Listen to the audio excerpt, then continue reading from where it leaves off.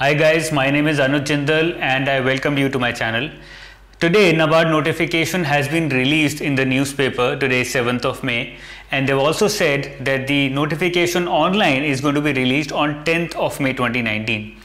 Now the first question that you must be thinking about is when will the exam be held? Well let me tell you that conventionally there is no rule let me remind you but conventionally uh, it takes almost one and a half to two months for uh, any organization to carry out the examination. So if the notification gets released on 10th of May as per NABARD, then June last week to July first week. This should be the time range when the exam should ideally be held. Of course, it might change, but ideally it should be held between June last week to July first week. So let's take that we have about two months left for the exam so we are going to prepare a strategy. I'm going to prepare a strategy for you and with you and uh, you know we'll try to cover the syllabus within this time period of two months given that you're also preparing for RBI examination. We'll keep that in mind and we'll make sure that we can cover as much as possible for the upcoming exam if you're starting now. Now what am I going to discuss today before going through that two important announcements that I wanted to make. Number one all the scholarship students uh, who've got selected uh, a total of 950 students sat for the exam. A total of 50 students have been selected this time. Uh, about two months back I had another scholarship test where I gave out scholarships to more than 50 students again. So this time 50 students have been selected and mails have been sent out to them along with the discounts or along with the scholarship ideally that what that's what we should be calling it so uh, please check your mails whether the spam folder or the regular folder and make sure that you enroll within the next 24 hours because a lot of students are waiting in the line and I want to provide them the scholarship as soon as possible so that they can start immediately. So after 24 hours, if you don't enroll, your scholarship is going to be passed on to the next student. Uh, so make sure that you enroll immediately and you start your preparations immediately as well. The second announcement about 30% and 20% early bird discount for NABARD. Uh, so if you're uh, already preparing for RBI or if you're thinking of preparing for all these three examinations now, then uh, you can take any of these discounts which are available or uh, which are valid for the next 24 hours again. So 30% for the combo courses of RBI, SEBI and NABARD and 20% for only NABARD courses if you're willing on preparing only for NABARD okay so these were the two announcements. Let's now immediately move towards the important things that we're going to discuss today. Uh, expected exam date we've already discussed that. No need to cover it again. Pattern of uh, uh, NABARD grade A and NABARD grade B. In order to understand that let me take you to the syllabus of NABARD grade A and NABARD grade B. A lot of students uh, called me today and asked me sir what is the pattern of NABARD grade A and NABARD grade B? Okay so in the left side you should be able to see a screen now where you can see the entire syllabus of NABARD grade A. I repeat the entire syllabus of NABARD grade A is on the screen now not NABARD grade B. In phase 1 or preliminary examination you have a total of 7 subjects and out of these 7 subjects 3 subjects are of 40 marks each. Now what are these 3 subjects? English language number 1 economic and social issues number 2 and agriculture and rural development number 3 these are of 40 marks each and the remaining four areas are of 20 marks each. That makes a total of 200 marks uh, worth of questions and 200 questions which are to be done in 120 minutes. Not a difficult task, certainly easier than RBI grade B and the reason is, is that uh, a total of 100 questions can be done in a smaller time. In fact, not even 100, 120 questions if we include uh, computer knowledge also can be done in a shorter span of time vis-a-vis RBI where only 80 questions are to be done in a shorter span of time, 120 questions take longer time. So uh, the time period is more, so if you are one of those students who uh, are slower in quant and reasoning but whose accuracy is high if you are given more time then this is the exam for you okay? Uh, phase 1 of both NABARD grade A and NABARD grade B grade B both are same. Let me take you to NABARD grade B. This is the syllabus for NABARD grade B. As you can see here reasoning English language computer knowledge general awareness quant ESI ARD seven areas same marks. So phase one of both NABARD grade A and grade B are exactly the same. The level differs of course to a certain extent especially quant and reasoning but the syllabus is exactly the same Let's come to phase 2 of NABARD grade A now. What you can see on your screen is uh, in NABARD grade A, there are two papers. Paper 1 is of English, which is the same for both NABARD grade A and NABARD grade B. In English, you are asked a combination of essay, comprehension and précis. Letters used to be asked before, but now they are not asked anymore. So you can even skip those areas given that we have limited time. Okay. So English common for NABARD grade A and NABARD grade B then you have uh, paper 2 uh, for NABARD grade A which is ESI and ARD which is also the same for both NABARD grade A and NABARD grade B okay? Which is ESI and ARD it is also of 100 marks. It is almost similar to RBI grade B ESI only only some areas are here and there uh, additional. In NABARD grade A and NABARD grade B that can be covered very easily. Agriculture and rural development is the area where students lose out a lot and also students gain a lot of marks. So that is the area that we are going to focus upon a lot preparing while preparing for NABARD grade A as well as grade B. Phase 3 or paper 3 sorry is the paper which is specific to NABARD grade B. What is that paper? Let's talk about that. Paper 3 is Development Economics, Statistics and Finance and Management as you can see on the screen. Development Economics, Statistics, Finance and Management. Finance and management is exactly the same as RBI grade B. So I'm assuming that you're also preparing for RBI grade B. No need to prepare separately for finance and management. Development economics, a lot of overlaps with ESI. Some additional things like development theories, uh, you know, or uh, some other areas which are given here and there, but not a lot of difference. So if you're preparing for ESI, uh, in for RBI or preparing for UPSC simultaneously very easy to cover. Statistics is the area which is going to uh, be difficult for a lot of students if you don't have that background.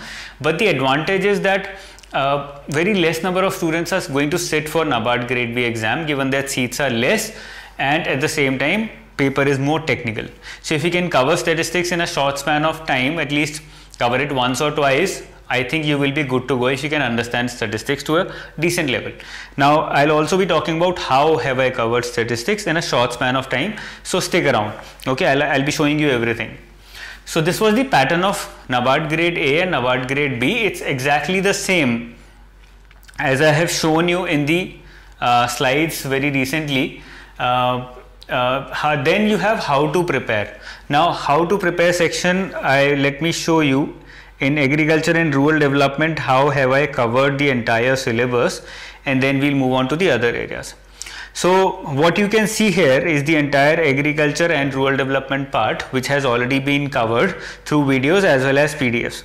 If you start with agriculture, you see agriculture definition, branches of agriculture, which is also the introduction of agriculture. Then you move to specific areas, as you can see here, agronomy, classification of field, factors affecting crops, agroclimatic zones, cropping systems, problems of dryland agriculture, seed production, precision farming, organic farming, ecology and climate change, animal husbandry and poultry, fisheries, forestry, plantation horticulture, soil and water conservation, water resource. The entire syllabus has been covered. Only some small areas uh, specific to uh, let's say current affairs are left which we are going to cover in a short span of time.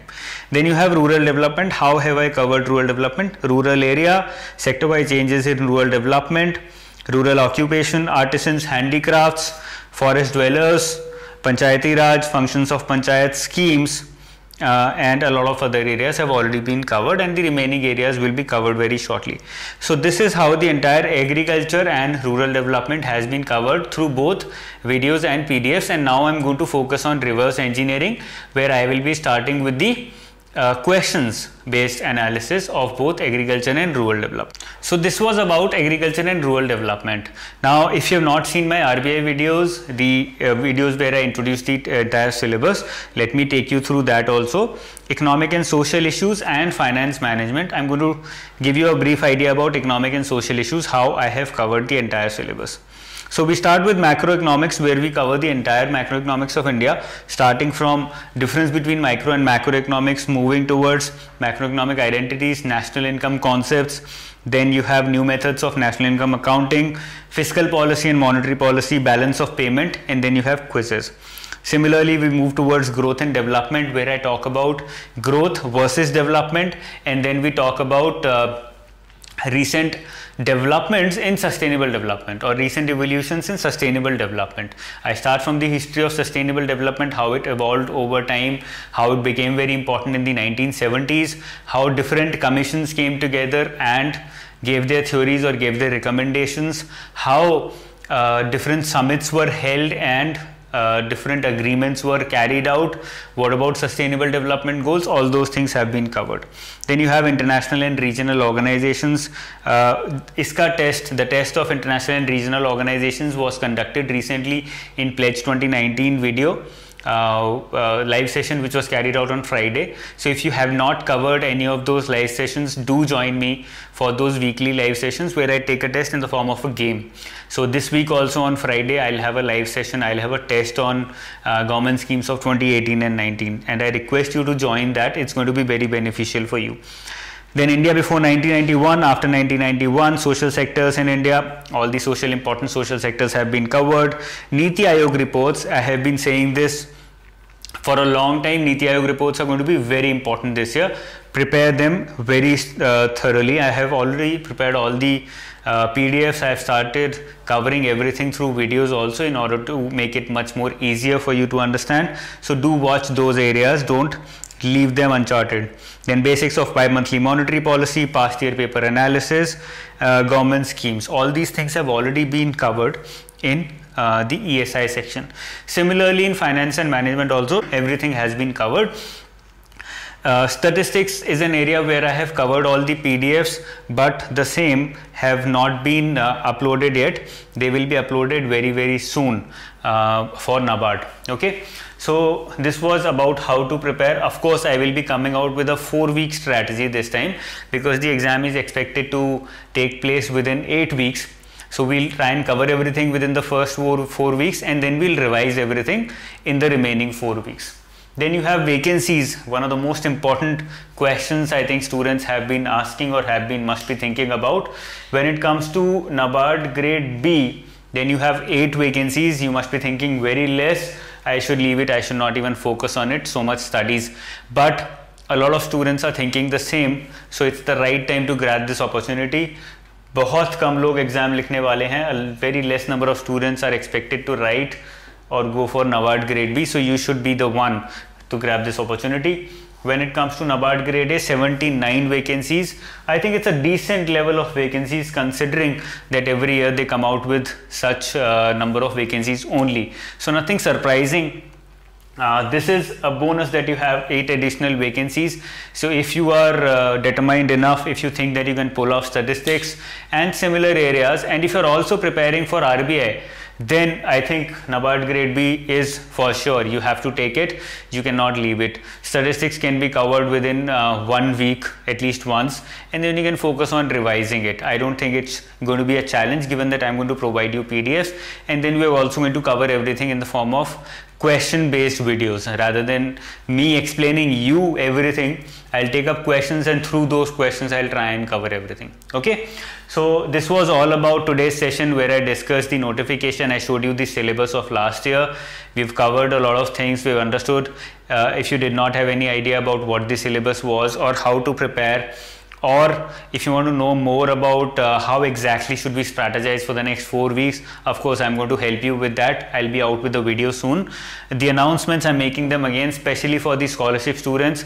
Do enroll immediately. After 24 hours i will have to pass on the scholarships to the remaining students. So check your mails all of you who have whoever sat for the exam. Uh, check your spam folders as well as the normal folders normal inboxes. Uh, you have received a mail if you have scored well in the examination. Okay? So uh, that's all for today. Tomorrow we are going to discuss the four week strategy for nabard and we're going to start very intensely with the entire prep. All the very best. Take care